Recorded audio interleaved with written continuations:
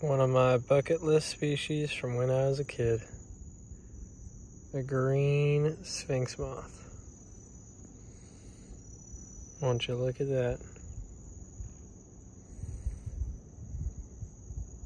So pretty.